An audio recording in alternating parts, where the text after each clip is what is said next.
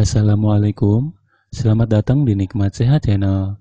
Ada dua kenikmatan yang banyak manusia tertipu, yaitu nikmat sehat dan waktu luang. Oleh sebab itu, kita harus memanfaatkan nikmat sehat dengan sebaik-baiknya.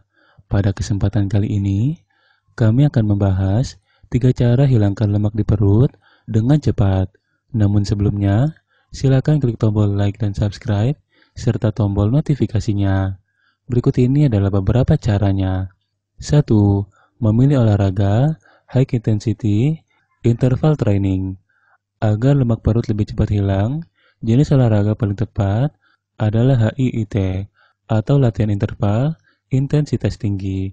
Olahraga jenis ini justru menjadi yang paling efektif dalam menghilangkan lemak dalam tubuh, termasuk pada bagian perut, daripada melakukan olahraga tertentu yang hanya berfokus di bagian perut. Contoh olahraga yang bisa kamu lakukan adalah plank, jump squat, push up, dan lain sebagainya. 2. Memilih asupan rendah kalori. Ketika sudah makan dan minum berbagai asupan tinggi gula, sodium, lemak, dan kalori, tidak sedikit orang yang mengalami kenaikan berat badan dan perut mulai membuncit.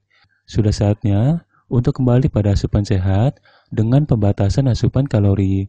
Jika ingin menghilangkan lemak perut dengan cepat, pilih konsumsi gandum, sayur-sayuran, buah-buahan, protein, minyak, dan lemak sehat, serta produk olahan susu rendah lemak. 3. Menghindari asupan tidak sehat. Selain berfokus pada sayur, buah, gandum, dan makanan lainnya yang rendah lemak maupun kalori, penting juga untuk tidak mudah tergoda dengan asupan tidak sehat. Asupan tidak sehat biasanya meliputi asupan kalori, gula, lemak, serta sodium garam yang terlalu tinggi. Jenis lemak yang paling perlu dihindari selama proses pemangkasan lemak perut adalah lemak jenuh dan lemak trans. Sementara itu, makanan cepat saji, makanan kemasan, dan makanan kalengan pun tidak ketinggalan sebaiknya mulai dibatasi kembali Demikianlah video sederhana mengenai tiga cara utama hilangkan lemak perut dengan mudah. Informasi pada video ini bersumber dari halosehat.com. Jika kamu suka dengan video ini, silahkan klik tombol like dan berlangganan.